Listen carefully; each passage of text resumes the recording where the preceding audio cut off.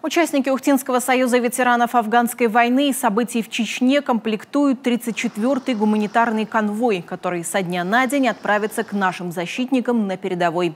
Экипировка, спецсредства, техника, провизия, весточки из дома – тонны необходимой нашим бойцам помощи собирают и передают жители республики. Кроме того, ухтинским гуманитарщикам также передали укомплектованную машину скорой помощи. Реанимобиль Луганскому медуниверситету передает УГТУ. Также сотрудники УГТУ собирали денежные средства на тепловизоры нашим ребятам на Херсонское направление, который тоже повезем. Спасибо огромное. И этот медицинский э, автомобиль также Ухтинский университет передал 34-му гуманитарному конвою более 1200 изделий, напечатанных на 3D-принтере. Это накольники, хвостовики, элементы системы сброса для FPV-дронов и ампульницы, снаряжение, которое помогает нашим бойцам выполнять поставленные перед ними боевые задачи.